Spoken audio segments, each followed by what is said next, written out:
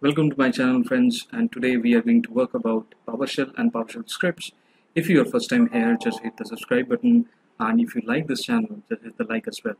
And if you feel that this video is informative definitely try to share this video to your friends, family so that they will also able to understand and develop an interest in PowerShell. So today we are going to discuss about network level authentication, um, enable network level authentication um, with the PowerShell. Okay. So what happens is uh, when we uh, see that there are some servers where network level authentication is not enabled. So what is that? First, I will try to explain you or tell you what exactly the network level authentication I'm talking about.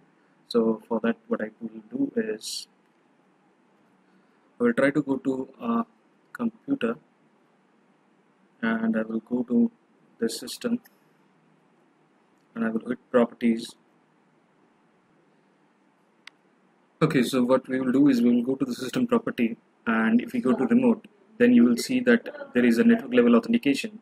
It's enabled here. Okay, so in some system it is not enabled and we need to uh, make it enabled with ma maybe manually or we will do it today with PowerShell. So the first thing is what we can do is we can check the status of this uh, authentication. Is it enabled or not? So if it is enabled, then we will leave it as it is, and if it is not, then we will uh, make it enable. Okay. So what are the keys you need to use? So in this video, I'm going to tell you how you will enable network level authentication with the PowerShell. So let's jump into the PowerShell window, and I've written a, a line of code. So let's understand the first one. Okay.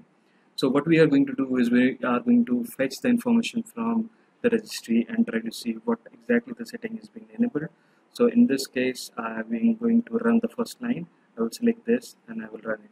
Okay now you can see it is enabled because number one value authentication type 1 is equal to enable because we have already seen it. If you go back here if you go to remote and you can see it is checked. Okay?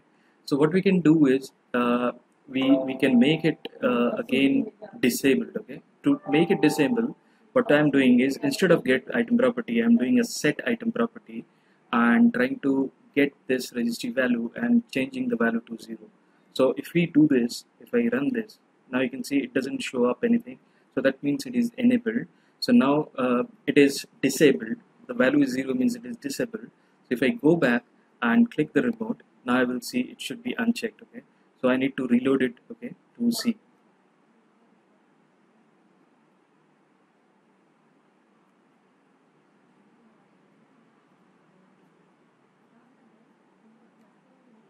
so now we can see it is not showing okay? It is uh, unchecked so let me close it again. And this time again I go there and I will change the value to 1 so that we can enable it back. So we are just going to enable it. I will uh, select this line and I will run it again. And this time to check is it being effective or not.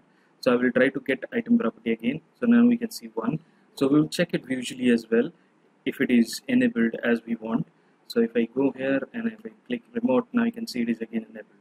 So hope you understand that how we are doing it. So basically what we tried to do is we have tried to reach to a registry entry which is a get item property and want to change the user authentication tab. So when you see that uh, if you go to this registry value then you can see it has user authentication ps path ps path parent ps child name ps driver ps provider so in that we want to change the value of user authentication. So that's why I put it in quotes and then we set the value as one or zero, whatever what do you, whatever you want to do.